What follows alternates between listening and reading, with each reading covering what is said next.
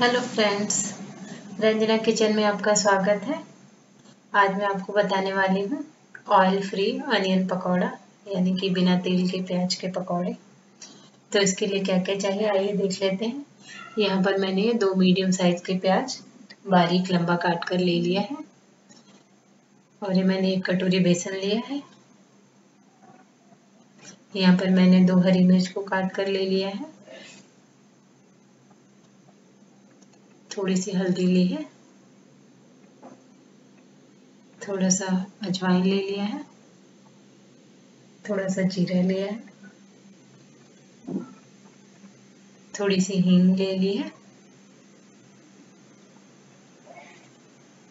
आधा छोटे चम्मच नमक ले लिया है मैंने। अब हम सारी चीज़ों को मिक्स कर लेंगे। फिर पानी मिलाकर हम पकौड़े बनाने वाला डो तैयार कर लेंगे।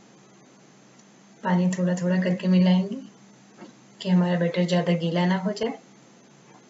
तो ये देखिए, हमारा पकौड़े बनाने का मिक्सचर तैयार हो गया। है अब हम पकौड़े बनाना स्टार्ट करेंगे।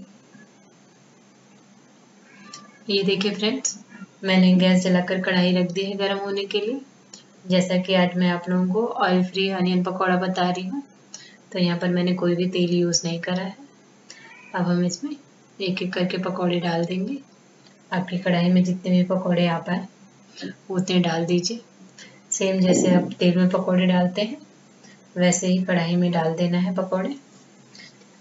और प्याज के पकौड़े तो आप सबको बनाना आता है अच्छे से। आज मैं आपको ऑयल फ्री प्याज के पकौड़े बता रही हूँ। तो इस तरह से मेरी कढ़ाई में ये सात से आठ पकौड़े आ गए हैं, मैंने इसे डाल दिया है। अब हम इसे ढककर दो से तीन मिनट के लिए पका लेंगे। ये तीन मिनट हो गए हैं। अब हम इसको पलट लेंगे। एक एक करके सारे पकौड़ों को पलट लेंगे हम। ये देखिए, मैं आपको पलट कर भी दिखा देती हूँ। एक तरफ़ से हमारे पकौड़े सीख गए हैं। अब हम इसे दूसरी तरफ़ से भी ढककर पका लेंगे।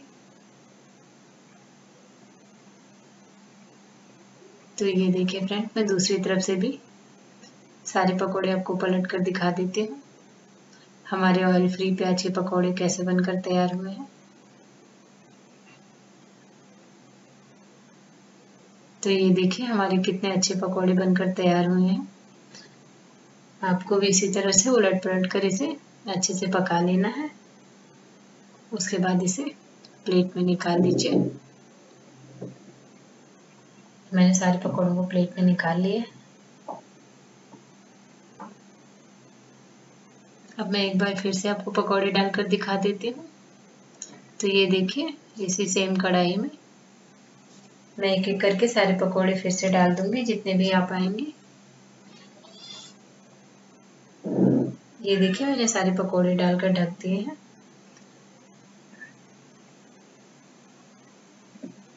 अब मैं इसे पलट कर भी आपको दिखा देती हूँ।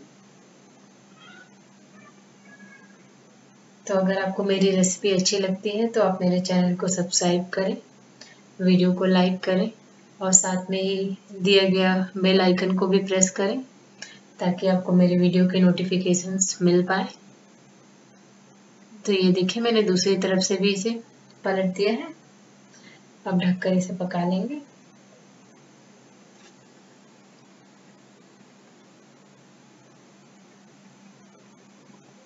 तो ये देखिए, हमारे दूसरे शिफ्ट वाले भी पकौड़े बनकर तैयार हो गए हैं। अब मैं सारे पकौड़ों को प्लेट में निकाल लूँगी और फिर इसकी प्लेटिंग करके आपको दिखाते हैं कि हमारे कैसे पकौड़े बनकर तैयार हुए हैं।